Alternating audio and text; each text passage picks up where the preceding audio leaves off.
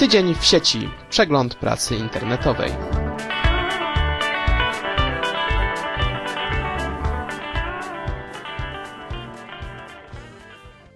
Jest poniedziałek, 8 października, a to oznacza, że czas na Tydzień w sieci, audycję informacyjną w Wolnym Radiu Kontestacja. Wszystkich słuchaczy wita Grzesiek, est, Kosiorowski. Tak jak zapowiadałem, jest to odcinek, który miał być już tydzień temu, ale w każdym razie odcinek jest w tym tygodniu i jest to ostatni odcinek drugiego sezonu. Jako, że większość audycji w kontestacji właśnie wraca po wakacjach, więc nie zostawię was osamotnionych, ale sam potrzebuję trochę wypoczynku, a może i Wiktor w końcu wróci w tym czasie.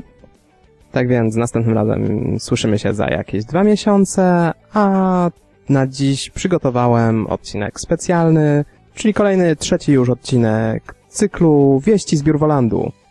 Usłyszycie, co od czasu ostatniego odcinka, czyli przez ostatnie trzy miesiące, zdarzyło się na froncie wiecznej wojny urzędników z resztą obywateli, a w szczególności z przedsiębiorcami. Sam zresztą aktualnie jestem w temacie, gdyż ostatni tydzień września spędziłem, chcąc nie chcąc, jako klasyczna biurwa, przyjmująca papiery i przybijająca pieczątki.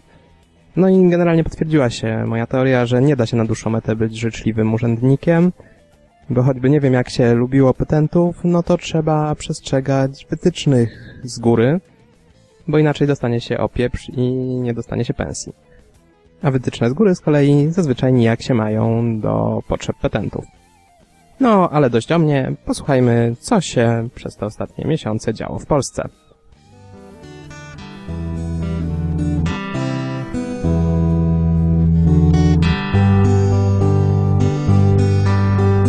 Za stołem na krześle zasiadła biurna, jak Kleopatra zajęła tron.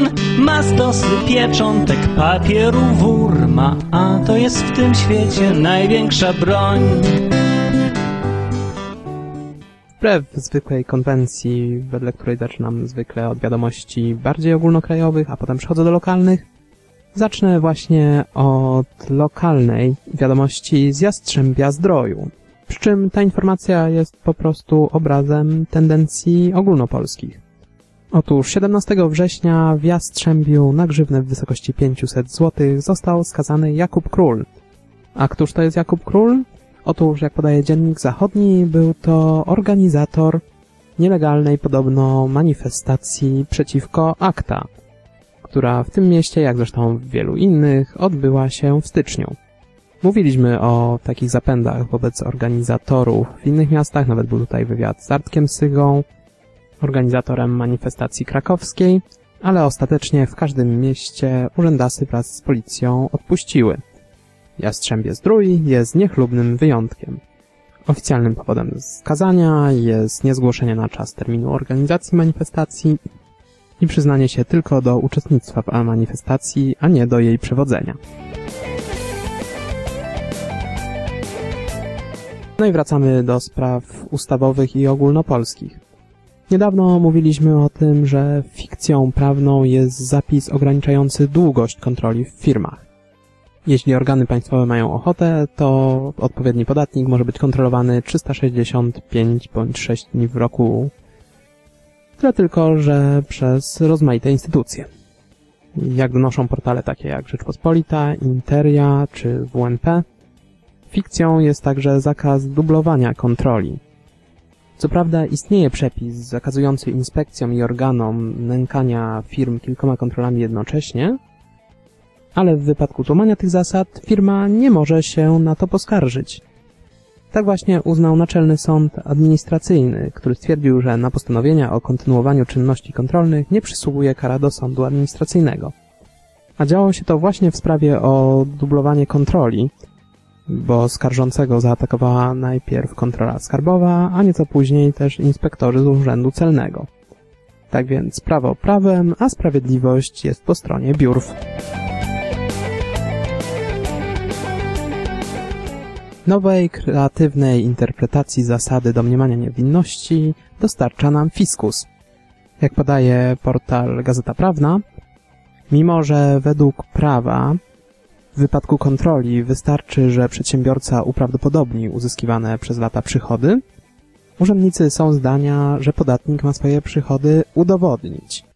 I będzie niewinny tylko właśnie jak udowodni, że nie jest wielbłądem.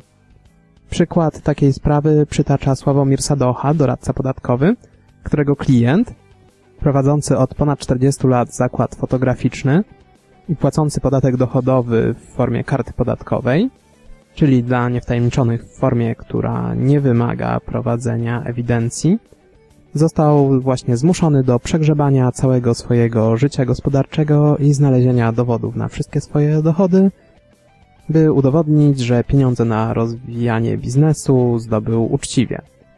W tych przypadkach chodzi zazwyczaj o tak zwane nieujawnione źródła, z których podatnik czerpał dochody. Urzędnicy fiskusa zazwyczaj ustalają je na podstawie poniesionych przez podatnika w roku podatkowym wydatków i wartości zgromadzonego w tym roku mienia. Część z nich bowiem mogą nie znaleźć pokrycia w mieniu zgromadzonym przed poniesieniem tych wydatków, ani w przychodach opodatkowanych czy też wolnych od opodatkowania. Wbrew prawu i orzeczeniom sądów, fiskus stoi na stanowisku, że podatnik ma nie tylko uprawdopodobnić, ale więc udowodnić istnienie przychodów pokrywających wspomniane wcześniej przeze mnie wydatki oraz to, że były one opodatkowane, ewentualnie zwolnione z opodatkowania. Podatnik ma również udowodnić, że wszystkie wydatki są pokryte przez te przychody, które ujawni Urzędowi Skarbowemu. Tak więc nawet jeśli rozliczacie się w jakiś sposób ryczałtowo, to na wszelki wypadek zbierajcie dowody wszystkich waszych przychodów, żeby na przyszłość nie mieć problemów z fiskusem. Jednemu zabiera, drugiemu zwraca, wyznacza ludziom, jak mają żyć. Być dobrym człowiekiem to ciężka praca, więc musi dużo herbaty pić.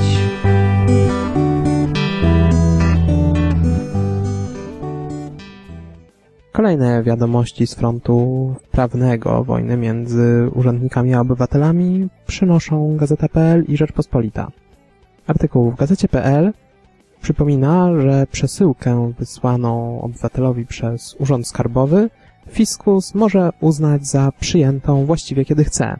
Dzieje się to zgodnie z ustawą o ordynacji podatkowej oraz przepisami kodeksu postępowania administracyjnego. Domyślnym terminem jest 4 tygodnie, co zostało zademonstrowane na przykładzie pana Przemysława z Katowic, który w lipcu wyjechał na wakacje. Listonosz w tym czasie próbował doręczyć mu wezwanie do Urzędu Skarbowego.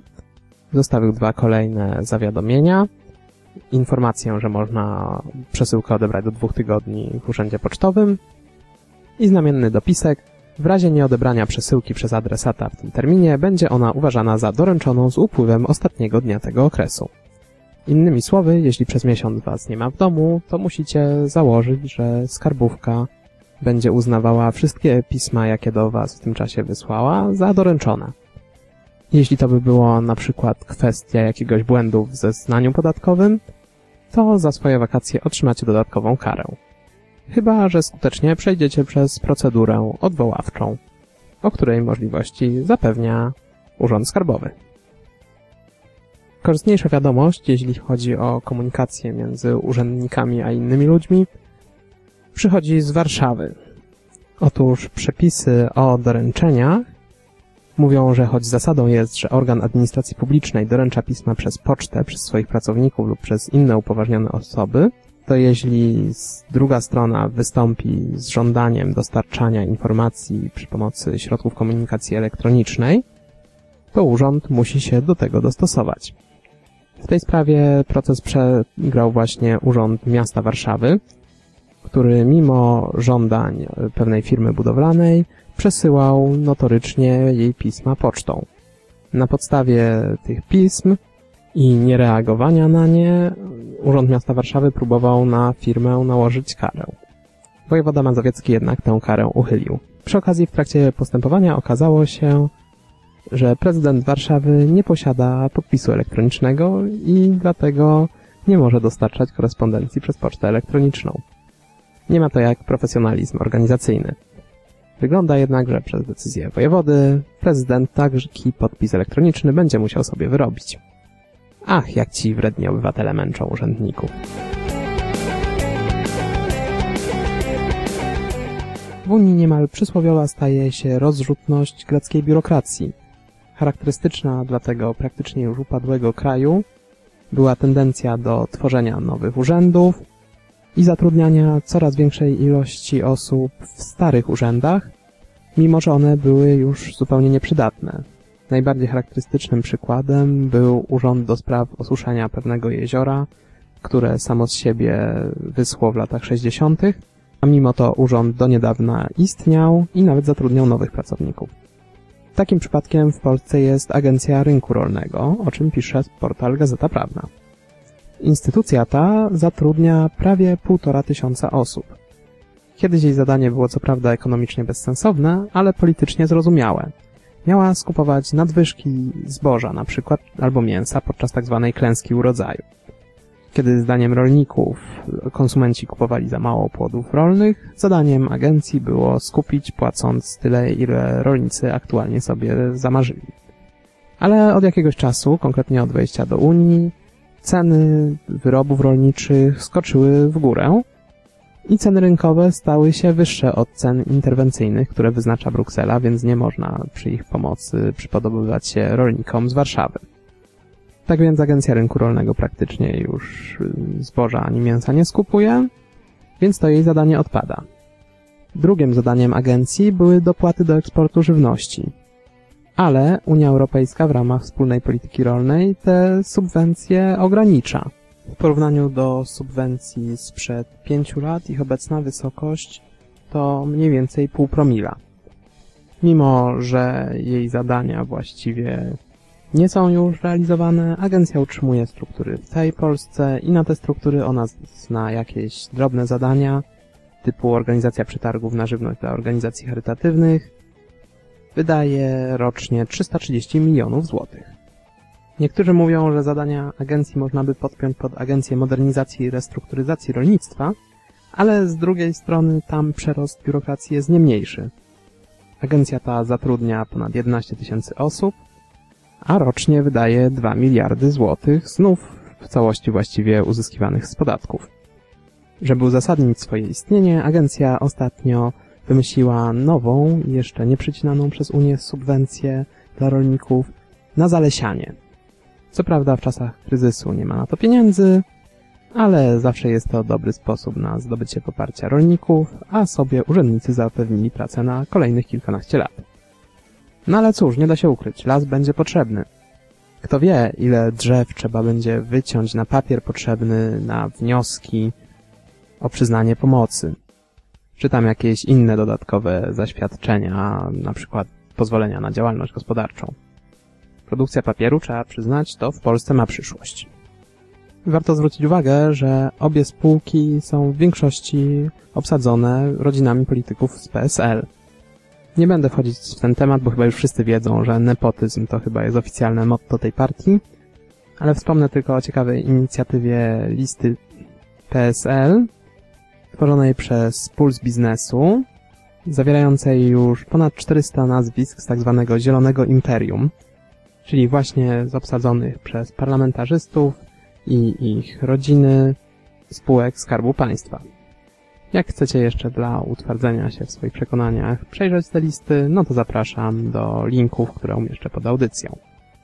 Natomiast za artykuł w Gazecie Prawnej, o którym wspomniałem, o fikcyjnym tworzeniu zatrudnienia w urzędach, wspomina też o urzędach pracy, które zwracają się o nowe etaty ze względu na zwiększające się bezrobocie.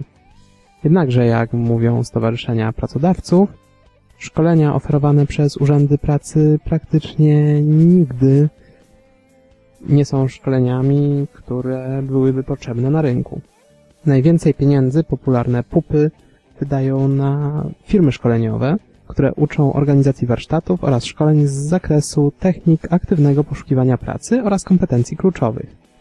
Ciekawostką jest, że urzędy pracy nie mają w ogóle narzędzi, które mogą ocenić jakość kupowanych przez siebie szkoleń, więc nie wiedzą na co wydają pieniądze, ale ponieważ to nie ich pieniądze, więc je wydają. Brzmi jak ponury żart, a to tylko skrzecząca rzeczywistość. Na zewnątrz petentów roi się mrowie, nie słychać docinków, nie słychać kpin. Lękają się biurwy, bo to co powie, na mocy ustawy zmienia się w czyn. Gdyby tylko jeszcze urzędnicy brali te pieniądze i nic poza tym nie robili, to byłoby pół biedy. Niestety jest dużo gorzej. Często ich działalność zdecydowanie szkodzi pozostałym obywatelom i takimi newsami zajmę się od tego momentu, a zacznę od znakomitego przygotowywanego przez Puls Biznesu i Polsat cyklu Państwo w Państwie, który przed wakacje co prawda miał przerwę, ale teraz już wrócił we wrześniu. No a poza tym mogę trochę opowiedzieć o losach bohaterów dawniejszych odcinków. Zacznę od sprawy najtragiczniejszej. 10 sierpnia na rozległy zawał serca zmarł Witold Szybowski, jeden z oskarżonych w sprawie polmozbytu, o której film Układ Zamknięty właśnie wchodzi na ekrany kin. Jego przyjaciel i współudziałowiec polmozbytu Paweł Rej ocenia ostro i otwarcie. Witold Szybowski został śmiertelnie pobity przez mafię urzędniczą. Przypominam, że w 2003 roku akcjonariusze firmy Polmozbyt zostali aresztowani za rzekome nadużycia przy prywatyzacji firmy. Od 8 lat zasiadają na ławie oskarżonych, mimo że ciągle nie znaleziono bezpośrednich dowodów. Na podstawie fałszywych oskarżeń akcjonariusze aresztowali i firmę przejęli Jerzy Jakielarz, ówczesny naczelnik Urzędu Skarbowego Kraków-Śródmieście i prokurator Andrzej Kwaśniewski. Ten ostatni już nie jest prokuratorem okręgowym, ale nie myślcie, że spotkała go jakaś kara, po prostu awansował do prokuratury apelacyjnej. Jakielarz z kolei pracował jako przewodniczący bądź wiceprzewodniczący Rady Nadzorczej spółki, jednocześnie ją kontrolując, co jest ewenementem na skalę światową. Nowy, kontrolowany przez prokuratora i biurwę zarząd spółki, sprzedawał bez przetargu za bezcen akcje Polmozbytu niejakiemu Pawłowi Czeredysowi, według obliczeń ekspertów za 5 do 10% właściwej ceny. Przychwycenie władzy w spółce sąd już zakwestionował jako niezgodne z prawem, tak więc te transakcje może uda się odwrócić, no ale niestety oczywiście biznesmeni nie mogą zarządzać spółką. Witold Szybowski w ostatnich latach pracował jako taksówkarz. Bezzasadne zniszczenie firmy, nad którą ktoś pracował pół życia, to wystarczający sposób, by doprowadzić człowieka do zawału serca, ale nie jest to jeszcze najobrzydliwsza rzecz, jaką zrobił prokurator Kwaśniewski. Otóż wykorzystał on fakt, że Witold Szybowski podarował na 18 urodziny 10% akcji firmy swojej córce. Dzięki temu mógł zniszczyć również relacje rodzinne pana Witolda. Osiemnastolatka została osadzona w areszcie z prawdziwymi zbrodniarkami i po półtora miesiąca takiego aresztu wydobywczego była już gotowa podpisać wszystkie dokumenty, jakie tylko prokurator jej podsuwał, mimo że nie miała pojęcia, do czego się przyznaje. Według niej prokurator miał twierdzić, że ojciec już ją wsypał i jeśli nic nie powie, to nie wyjdzie z więzienia przez najbliższe 15 lat. Dopiero po kilku latach zrozumiała, że ojciec jest niewinny, a przez ten czas nie chciała z nim utrzymywać kontaktów. Dziś na sprawiedliwość dla Witolda Szybowskiego jest już za późno, ale koszmar pozostałych akcjonariuszy Polmozbytu Kraków trwa. Kontestacja. Mam też nowe informacje na temat innych bohaterów reportaży Państwo w Państwie. Na przykład córki pani Doroty Mrugały, która mimo ciężkiej choroby została aresztowana i zmarła w areszcie tylko na podstawie zeznań jednego gangstera, a potem okazała się niewinna. Tak więc jej córki właśnie złożyły pozew przeciwko Skarbowi Państwa, domagają się 12 milionów złotych odszkodowania. Oczywiście nie zapłaci tych pieniędzy prokurator kielecki Dariusz Dryjas, który zajmował się tą sprawą, ale Skarb Państwa z kieszeni podatników. Podobnego czynu dopuścił się prokurator Jarosław Dyka z wrocławskiej prokuratury apelacyjnej, który na podstawie zeznań gangstera skazał na areszt w upokarzających warunkach Marka Lisowskiego. Marek Lisowski miał wywieźć wspomnianego gangstera, który był mu winny pieniądze do lasu i grozić mu śmiercią. Faktycznie groźny i pełen werwy czyn, zwłaszcza jak na kogoś, kto jest sparaliżowany. A Marek Lisowski właśnie sparaliżowany był. Nie zważając na absurdalność takiego oskarżenia, prokurator zażądał aresztu, a Lisowski został aresztowany i osadzony w zakładzie karnym w Czarnym, w którym nie miał właściwej opieki, a samodzielnie nie mógł egzystować. Po jego wyjściu z aresztu lekarze z Ingolstadt przebadali go i stwierdzili znaczące pogorszenie stanu zdrowia. Prokuratura zareagowała dopiero po programie Państwo w Państwie i tylko ze względu na interwencję z góry, głównie grupy senatorów oraz prokuratura generalnego Andrzeja Seremeta.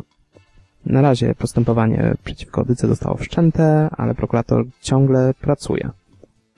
Najbardziej absurdalnie rozstrzygnęła się sprawa w Legnicy, gdzie dwaj niepokorni wobec przełożonych policjanci stanęli przed sądem z zarzutem korupcji i tuszowania przestępstwa. Chodziło o dokładnie tę samą sprawę. Sąd rejonowy skazał ich na półtora roku więzienia, którą potem zawieszono na trzy lata. W sprawie jednego z nich znalazły się jakieś formalne uchybienia, które spowodowały przeprowadzenie sprawy od nowa i tym razem po dokładniejszej analizie akt policjanta uniewinniono. Okazało się bowiem, że do przestępstwa nie doszło. Jednak ze względu na to, że wyrok wydano tylko w zawieszeniu, nie doszło również do kasacji wyroku na drugiego policjanta za przestępstwo, które, jak przypominam, według ustaleń sądu nie miało nigdy miejsca. A że skazany w policji nie może pracować, więc z pracy wyrzucony został. Przypomnę jeszcze, że cała sprawa zaczęła się od tego, że rzeczeni dwaj policjanci ujawnili, że ludzie w komendzie miejskiej policji w Legnicy chronią gangsterskie interesy, imprezują z bandziorami i fałszują statystyki. Pokrzywdzeni funkcjonariusze twierdzą, że będą walczyć o odszkodowanie, ale sądzą, że prokuratorzy skryją się za immunitetem. Jak twierdzą, nie wiedzą już sprawiedliwość. A jeśli tak mówią funkcjonariusze systemu sprawiedliwości, to co mają w Polsce powiedzieć zwykli ludzie? A biurwa nie szuka własnych korzyści, lecz w imieniu państwa opiekę śle. Dla dobra twojego może cię zniszczyć, zabrać ci wszystko lub zamknąć cię. No ale dawne sprawy urzędniczego państwa w państwie to nie wszystko, bowiem pojawiają się nowe. Przykładem sprawa Tomasza Tuczapskiego, radcy prawnego z Wrocławia. W kwietniu prokuratura zarzuciła mu wyprowadzenie z południowo-zachodniej skok we Wrocławiu prawie 13 milionów złotych. To, czy radca jest winny, czy nie, jeszcze nie jest przesądzone, ale nie to jest w sprawie najważniejsze. Otóż tuż przed aresztowaniem zgłosił się do pana Tupczapskiego funkcjonariusz ABW i nalegał na złamanie tajemnicy zawodowej.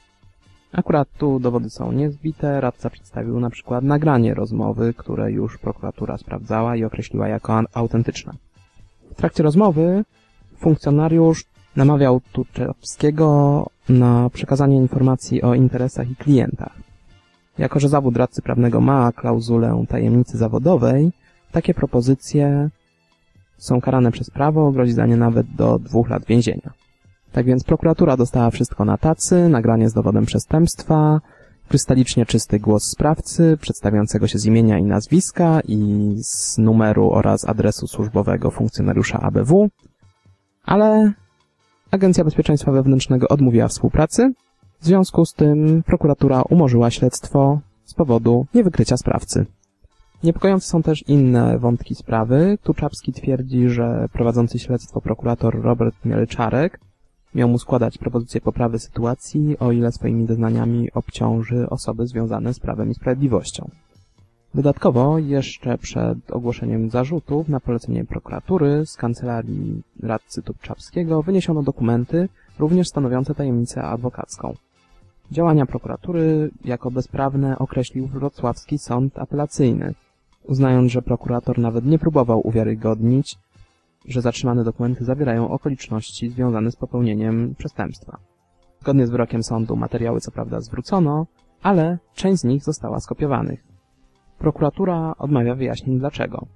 Wygląda na to, że cała sprawa była więc tylko przykrywką dla zdobycia danych osobowych klientów Tuczapskiego.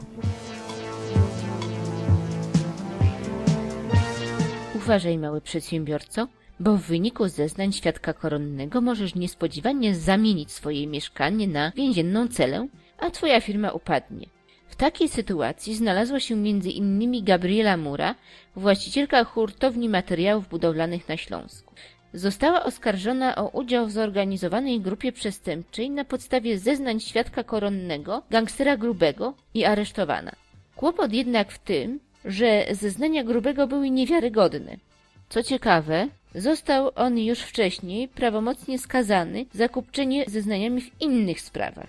Te fakty prokuratorowi Romanowi Pietrzakowi widać nie przeszkadzały, skoro oskarżył niewinną bizneswoman o udział w gangu, który na tzw. kredyt kupiecki wyłudzał od innych firm towary, za które nie zamierzał płacić. Sprawa ciągnie się już kilka lat, bo gruby zniknął bez śladu, a zgodnie z prawem bez jego udziału postępowanie nie może się toczyć. Gdzie obywatel ma szukać sprawiedliwości, skoro tzw. wymiar sprawiedliwości nie jest w stanie jej zapewnić?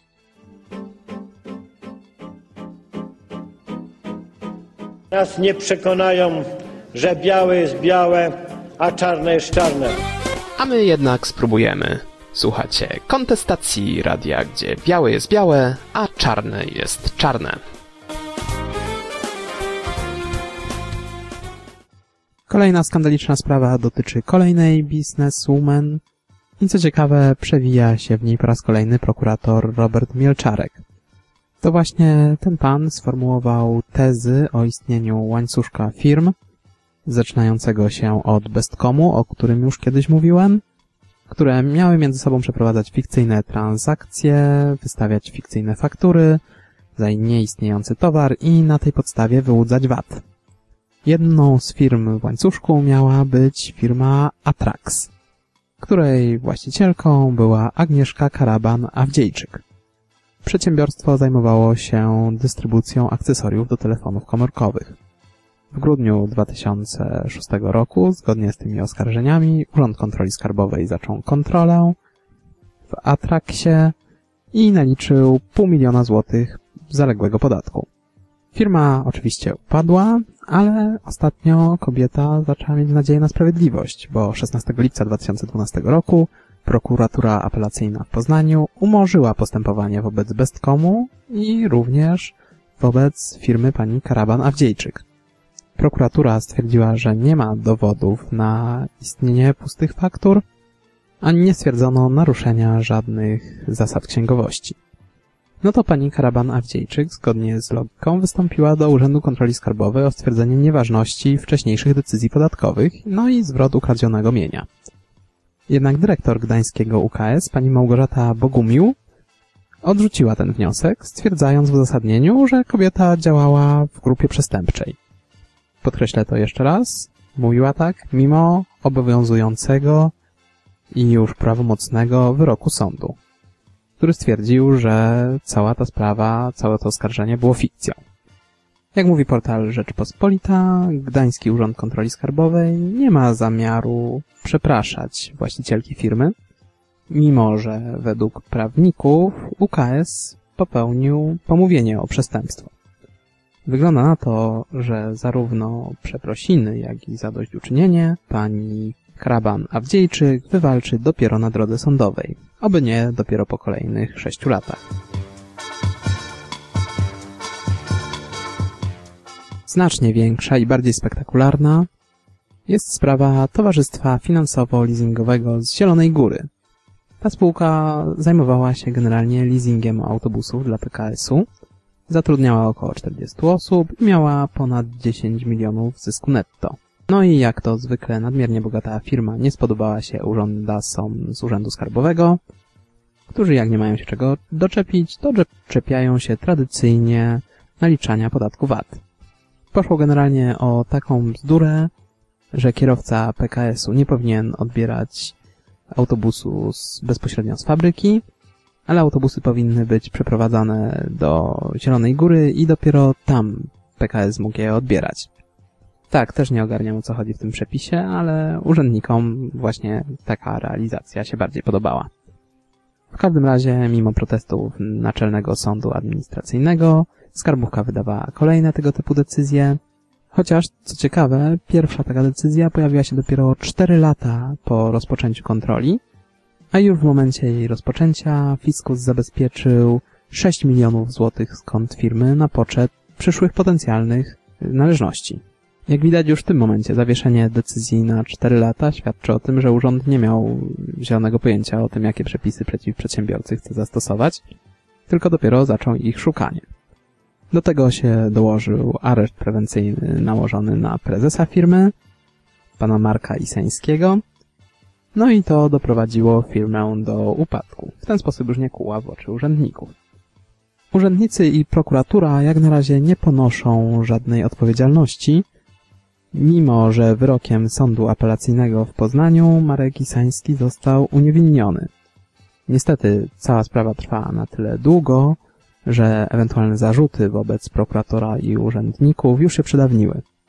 Tak więc nadzieje na sprawiedliwość w tej sprawie są mizerne.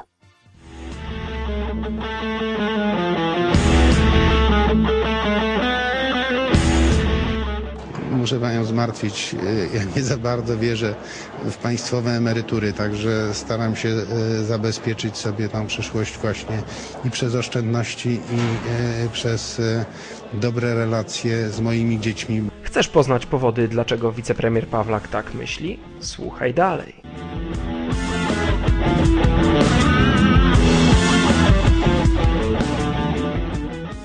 Skarb Państwa ma zapłacić prawie 22 miliony złotych firmie Budimex jako karę umowną za przerwanie budowy obwodnicy Augustowa przez Dolinę Rozpudy. Tak orzekł Sąd Okręgowy w Warszawie. W uzasadnieniu wyroku podkreślono, że to na Generalnej Dyrekcji Dróg Krajowych i Autostrad spoczywał obowiązek uzyskania pozwolenia na budowę i utrzymania go do końca inwestycji. Warto przypomnieć, że budowę obwodnicy przerwano po protestach ekologów i Komisji Europejskiej, którym milsza przyroda niż dobro żyjących wyhałasi mieszkańców okolicznych wsi. Cieszyć może fakt, że teraz powstaje nowa obwodnica, która ma przebiegać przez miejscowość Raczki i być skończona w 2014 roku. Jednak prokuratoria generalna reprezentująca Skarb Państwa nie wyklucza złożenia kasacji do Sądu Najwyższego. Znamy już problemy Budimexu z obwodnicą Augustowa, głośno było o problemach podwykonawców na autostradach, to teraz może czas na jakąś bardziej optymistyczną wiadomość. Otóż przy okazji euro mówiło się głośno nie tylko o drogach, ale też o budowniczych stadionu narodowego. Ciągle 50 podwykonawców czeka na pieniądze na, za swoją pracę. Konsorcjum, które było zleceniodawcą, po prostu ogłosiło upadłość i zawiesiło wypłaty. Zaległości sięgają prawie 100 milionów złotych. Jednakże cieszyć może fakt, że przynajmniej jedna spółka takich problemów nie ma. Bowiem firma Aluglas Realizacja, która budowała m.in. loże wipowskie, biznes klub i kaplice na stadionie, za 58 milionów złotych swoje należności już otrzymała, gdyż wcześniej pozwolono jej zawrzeć umowę nie z głównym wykonawcą, ale z Narodowym Centrum Sportu. No więc teraz możemy się ucieszyć tym, że choć jedna firma była tak przezorna. Ale ciekawe jest też, co właściwie tę firmę tak wyróżnia spośród półsetki innych, że mogła zawrzeć umowę z Centrum Sportu bezpośrednio. Właściwie tak naprawdę to nie wiadomo, więc podam zupełnie niezwiązaną z tym udogodnieniem ciekawostkę. Otóż właścicielem firmy jest Piotr Kalbarczyk, który absolutnym przypadkiem jest radnym miejskim z ramienia Platformy Obywatelskiej. Oczywiście to nie ma żadnego związku z brakiem problemów tej firmy. Nic takiego ani przez chwilę nie powiedziałem. Jakby ktoś wiedział, dlaczego ta firma ma takie ułatwienia, to chętnie się dowiem. Warto w końcu się uczyć od najlepszych. Kontestacja głos wolności w Twoim domu.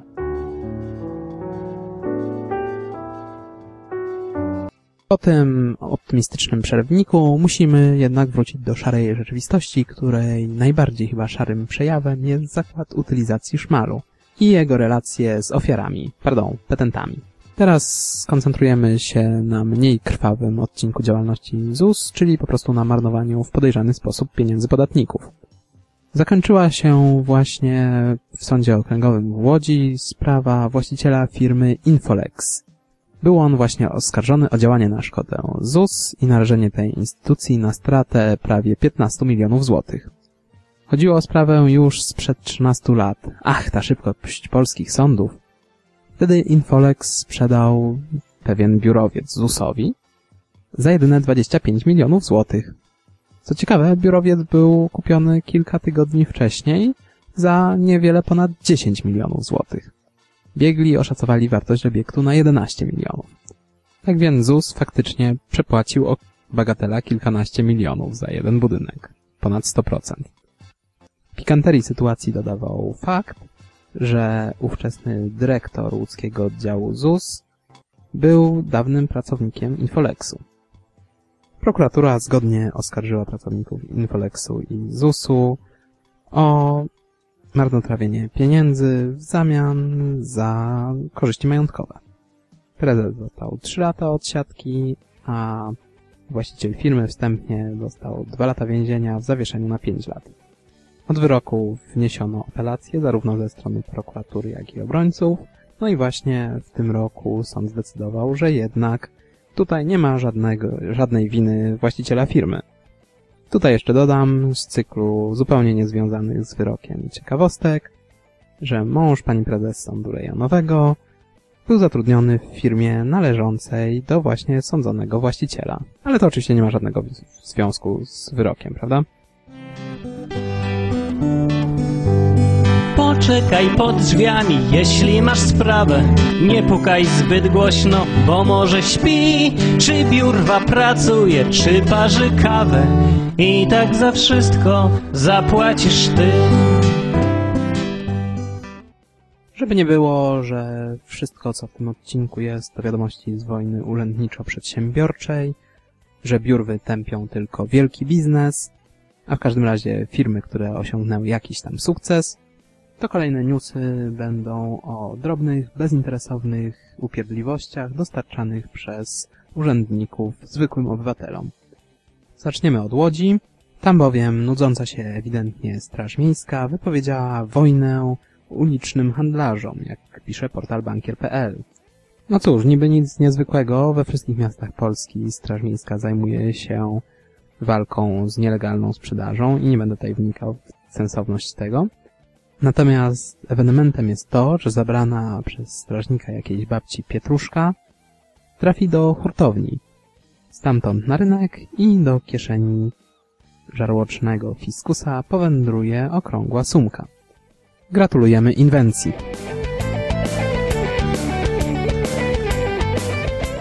Jeszcze bardziej irytująca i bezsensowna wiadomość z Łodzi dotyczy walki urzędników zarządu drugi transportu ze społecznikami. Na ulicy Tuwima były sobie kiedyś pasy. Takie oznaczające przejście dla pieszych. No ale jak to pasy z białej farby się wytarły po długiego użytkowania. Ponieważ ścieranie się pasów umknęło uwadze urzędników, paru ludzi w końcu się zdenerwowało i wymalowało te pasy własnoręcznie. W internecie pojawił się nawet film z tego społecznego malowania. Całej sprawy urzędnicy oczywiście nie zauważyli, aż do momentu, kiedy się zrobiło o tym głośno w gazetach. W tym momencie zdenerwował się pan Grzegorz Nita, rzecznik łódzkiego zarządu drugi transportu i polecił zebrę usunąć. Nie będą nam obywatele mówić, jak drogi mają wyglądać. Drogi nie są dla obywateli, tylko dla nas, urzędników. Tak zapewne przebiegał tok rozumowania pana Grzegorza Nity. Osoby, które odmalowały pasy, będą według rzeczniczki tej szanownej instytucji ścigane na podstawie prawa o ruchu drogowym, a konkretnie zakazu samowolnego umieszczania znaków drogowych. Cóż, Monty Python przy polskich urzędnikach by chyba wymiękł.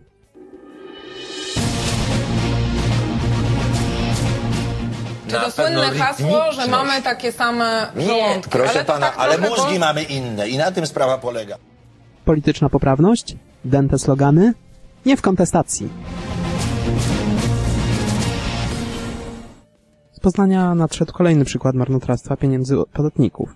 Poznańscy urzędnicy miejscy, znając konsekwencje, zabronili deweloperowi budowy na przyznanym wcześniej pod budowę terenie i w konsekwencji po wyroku sądu teraz płacą 34 miliony złotych odszkodowania. Ale nie ze swojej kieszeni, więc co im tam. Jak sprawa wyglądała?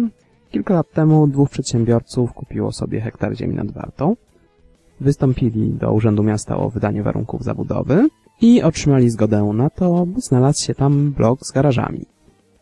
Pięć lat temu sprzedali za 40 milionów złotych ziemię spółce Prime Developer, której architekci przygotowują już plany budynku.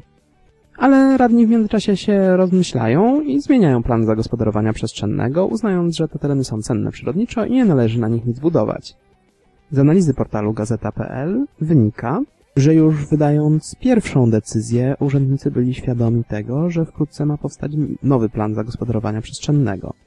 Wstępnie wykonanie decyzji o warunkach zabudowy nawet było wstrzymane, ale ponieważ Miejska Pracownia Urbanistyczna przez kilka miesięcy nie rozpoczęła prac nad planem, więc Wydział Architektury wydał pozytywną decyzję inwestorom. Prace nad planem przyspieszyły dopiero gdy spółka Prime Developer kupiła grunt i to mimo ostrzeżeń spółki, która dowiedziawszy się o tym wysłała uprzejmy list do Urzędu Miasta, wyjaśniający, że konsekwencją mogą być grube miliony odszkodowania. List pozostał bez odpowiedzi, plan zmieniono, odszkodowanie wkrótce zostanie wypłacone. Jeszcze przykrzejsze konsekwencje dla obywateli ma lenistwo urzędników w Zielonej Górze. Historia była następująca. Pewnemu komisowi samochodowemu Powiatowy Urząd Pracy pożyczył 150 tysięcy złotych na poręczenie pracowników tejże firmy. No i jak to zwykle bywa z biznesami budowanymi na dotacjach od państwa, po roku komis ogłosił upadłość. Dług obciążył żerantów. Ale wkrótce mogli oni odetchnąć z ulgą. Okazało się, że pracodawca ich nie powinien otrzymać pieniędzy, bo sfałszował dokumenty potrzebne do otrzymania pożyczki, m.in. zawyżając zarobki żyrantów. Właściciele upadłej firmy powędrowali do więzienia, a żyranci odetchnęli, no bo ewidentnie nie ich winą było przyznanie tego kredytu, a konsekwencje oczywiście powinni ponieść urzędnicy. Ewentualnie właściciele firmy. Tak czy inaczej ta pożyczka właśnie na tych żyrantów nie powinna być udzielona, więc nie powinni go spłacać. No i przez 7 lat było wszystko w porządku, aż tu nagle, po 7 latach, do drzwi tych wszystkich pracowników dawnych zapukał komornik. Stwierdził on, że muszą oni spłacić tą pożyczkę, ponadto również odsetki, przez które kwota pożyczki się już podwoiła. No więc komornik tym dłużnikom zajął domy i samochody. Ciekawostką jest, że urząd przez te 7 lat milczał, ewidentnie czekając aż narosną odsetki. W końcu każdy, kto zapomni zapłacić ratę za czynsz, natychmiast dostaje upomnienie, a tu o prawie 200 tysiącach urząd sobie zapomniał na 7 lat. Ludzie postawieni pod ścianą zdecydowali się w końcu podpisać ugodę z Państwowym Urzędem Pracy. Dług rozłożono im na możliwe do spłacenia raty, które będą spłacać przez 176 lat. Starosta zielonogórski twierdzi, że tak długie zwlekanie z rozliczeniem pożyczki to poważna nieprawidłowość i zamierza przeprowadzić kontrolę w Urzędzie Pracy. Urząd Pracy jednak do winy się nie poczuwa. Jak mówi jego dyrektor Irena Radziusz, nie ma szans, by umorzono odsetki. Jesteśmy jednostką państwową i musimy dbać o finanse publiczne.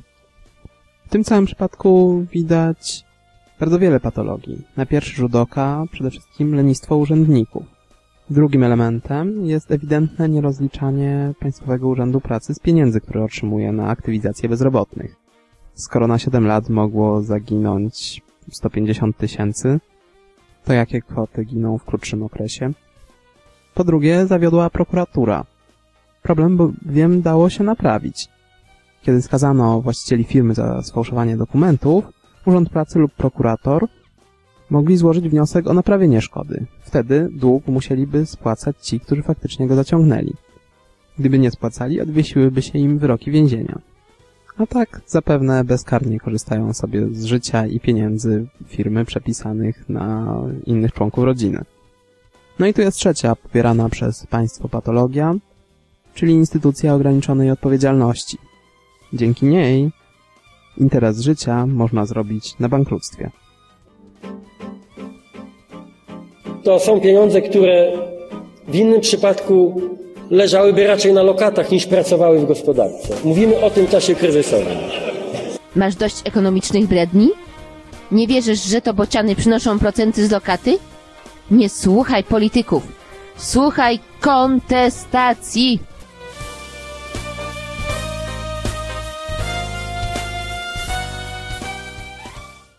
Jeśli w poprzedniej sprawie mówiliśmy o niedbalstwie czy lenistwie urzędników, to naprawdę nie wiem, jakich słów trzeba użyć, by opisać postawę policjantów z Komendy Wojewódzkiej Policji w Olsztynie. Sprawa dotyczy napadu na kantor pod olsztyńskim Gronowie, w wyniku którego napastnik zabił właścicielkę kantoru. Na policję zgłosił się świadek i przedstawił portret pamięciowy zbrodniarza. Oczywiście, ze względu na zagrożenie życia, taki świadek powinien być traktowany szczególnie ostrożnie przez policję. Ale policja tak się ucieszyła z portretu pamięciowego, że rozesłała do dziennikarzy właśnie tenże portret, chociaż właściwie nic na nim nie było widać, bo tak naprawdę na portrecie jest głowa jakiegoś mężczyzny odzianego w kominiarkę. Widać tylko oczy, a nie sądzę, by bandyta ukazywał ich kolor świadkowi. Okay, na razie tylko to jest po prostu nieprzydatne działanie, ale nic złego. Natomiast ciekawe, policja razem z tym zdjęciem wysłała do dziennikarzy dane świadka. Po prostu, nie chroniąc ich imię, nazwisko, brakowało właściwie tylko adresu i informacji w jakich godzinach można człowieka tam zastać i usunąć, jeśli jego zeznania komuś nie będą pasować. Po kilku godzinach policjanci się zreflektowali i wysłali poprawioną wiadomość, no ale cofnąć tego, co zaszło, już się nie dało. Świadek dostał policyjną ochronę, a jeśli ci policjanci działają równie skutecznie jak ich koledzy, to na miejscu świadka obawiałbym się, czy przez pomyłkę nie zostanie postrzelony on zamiast bandyty w wypadku jakiegoś kolejnego napadu. Pamiętacie może sprawę zamojskiego dealera Fiata, który został ograbiony z pieniędzy przez Urząd Skarbowy i wywiesił na swoim salonie stosowne podziękowanie? Wzór z niego wziął przedsiębiorca z Ludwina pod Łęczną, pan Jarosław Tomasiewicz, prezes firmy Antar, właściciela tzw. resortu Piaseczno, czyli jednego z największych ośrodków turystycznych w regionie. Nad bramą wjazdową właśnie zawił baner Resort Piaseczno w likwidacji. Dziękujemy wójtowi i gminie Ludwin. Jak wygląda sprawa, przynajmniej zdaniem prezesa firmy? W 2007 roku pan Tarnasiewicz wydzierżawił tą kilkuhektarową działkę i dostał obietnicę od gminy Ludwin, że po wniesieniu odpowiednich nakładów inwestycyjnych będzie miał możliwość wykupu terenu. Gmina też zapewniała, że grunt jest jej i wolny od jakichkolwiek roszczeń osób trzecich. Przez kilka lat wszystko było w porządku, kolejne budynki resortu się budowały, aż tu nagle w 2011 roku Antar otrzymał wsteczną decyzję podatkową od gminy na lata 2008-2011, w której podatki były wyliczone na kwotę kilkukrotnie większą niż ta przedstawiona wcześniej w umowie między firmą a gminą. Najciekawsze właśnie jest to, że to nowe wyliczenie sobie gmina przypomniała właśnie dopiero po trzech latach. Czyli wtedy, kiedy właściciel resortu skończył budować wszystkie budynki.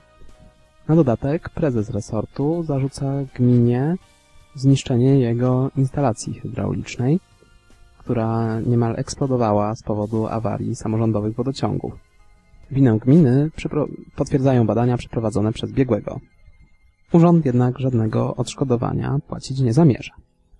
Tutaj sprawa toczy się w sądzie. Jednak najgorsze miało dopiero nastąpić, kiedy w 2011 roku, zgodnie z umową, Jarosław Tarnasiewicz zgłosił się do gminy, by nabyć działkę, na której znajduje się zbudowany przez niego ośrodek. Gmina nagle stwierdziła, że odmówi. Wójt Andrzej Habros stwierdził, że Ludwin nie ma zamiaru sprzedać tego gruntu. Gmina odmówiła również rozwiązania umowy dzierżawy ze zwrotem poniesionych przez Tarnasiewicza kosztów. Ta sprawa również toczy się w sądzie. Dodatkowo, wbrew zapisom umowy, okazało się, że prawa do działki roszczą sobie jej poprzedni właściciele. Czyli podpisując umowę z Tarnasiewiczem, urzędnicy gminy to zataili. Straty spowodowane przez te wszystkie zaniedbania gminy oraz sprawy sądowe spowodowały, że Tarnasiewicz zdecydował właśnie o zamknięciu ośrodka i wywieszeniu wspomnianego banera. Jak mówi rozgoryczony Tarnasiewicz. Zrobiłem wszystko, żeby ruszyć ten kawałek lubelszczyzny, stworzyć miejsca pracy, Wpakowałem w to kilkadziesiąt milionów. Teraz chcę, chcę odzyskać chociaż zaakceptowane przez gminę 14 milionów złotych jako nakłady inwestycyjne i zapomnieć o Ludwinie na zawsze. Będzie to trudne, bo przez tę sprawę moja firma jest na skraju bankructwa, a ja od kilku miesięcy mam rozrusznik serca. Gmina opublikowała oświadczenie, twierdząca, że tak naprawdę to wcale nie wie o co chodzi, a w ogóle to zachowuje się bardzo szlachetnie wobec firmy. Roku sądowego jeszcze nie ma, więc nie znając dokładnie sprawy nie mogę stanąć po czyjejś stronie z całkowitą pewnością, ale jednak zeznania prezesa wydają mi się dużo bardziej autentyczne. Bowiem zakładając, że wójt gminy nic w umowie takiego nie zapisywał, to tylko ktoś absolutnie normalny mógłby włożyć kilkanaście milionów w ziemię, która po kilku latach miałaby przestać być jego. A o nienormalność kogoś, kto zorganizował taki ośrodek, raczej nie można podejrzewać.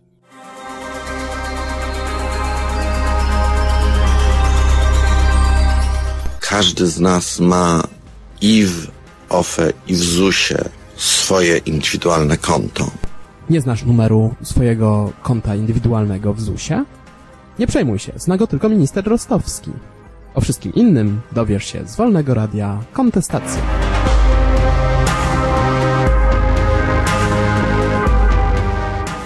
To już wszystko w dzisiejszej audycji, aczkolwiek nie są to wszystkie sprawy oczywiście, w których urzędnicy dokuczali petentom przez ostatnie miesiące. Części z nich media nie wykryły, część media wykryły, a ja ich nie znalazłem, a inną część znajdziecie wśród linków, które dodam w komentarzach pod audycją. Oczywiście znajdą się tam też linki do artykułów, o których opowiedziałem wcześniej w tej audycji, także będziecie mogli sprawdzić, czy nic nie przekręciłem. A póki co zachęcam do komentowania, czy to pod audycją, czy to mailowo, prywatnie na adres przeglad.kontestacjamałpa.gmail.com Jeśli komuś audycja się podobała, to zachęcam do sponsorowania. Aha, i na adres przeglad.kontestacjamałpa.gmail.com powtórzę raz jeszcze. Y, zachęcam do przesyłania pytań jakie można by zadać przedsiębiorcom oraz organizatorom na kongresie małych i średnich przedsiębiorców organizowanym przez Ruch Palikota, który odbędzie się w Krakowie w najbliższą sobotę. Zważywszy na ostatnie wypowiedzi pana Palikota, gloryfikujące państwową własność fabryk i mówiące, że kapitalizm jest najgorszą z wszystkich religii, ciekawe byłoby usłyszeć, co ma do powiedzenia małym i średnim przedsiębiorcom, nie sądzicie? Więc tam zapewne wybierze się jakaś nasza ekipa, by sklecić odcinek specjalny. Ale poza tym chciałem ogłosić koniec sezonu drugiego, gdyż potrzebuję trochę przerwy, chwilę odpoczynku. Wrócimy, myślę, że ze świeżymi siłami za jakieś dwa miesiące w rejonie Mikołaja, przedstawiając kolejne odcinki Totalnej Miazgi, Wieści z Biurwolandu, czy też po prostu Tygodnia w sieci. Słuchaliście właśnie audycji z cyklu Wieści z Biurwolandu, pod egidą Tygodnia w sieci, a audycję prowadził Grzesiek, est est. Dziękuję za uwagę. Niech żyje więc dzielna służba publiczna, wiwat policja, skarbówka, sąd. Niech żyje Europa biurwokratyczna, niech żyją biurwy daleko stąd.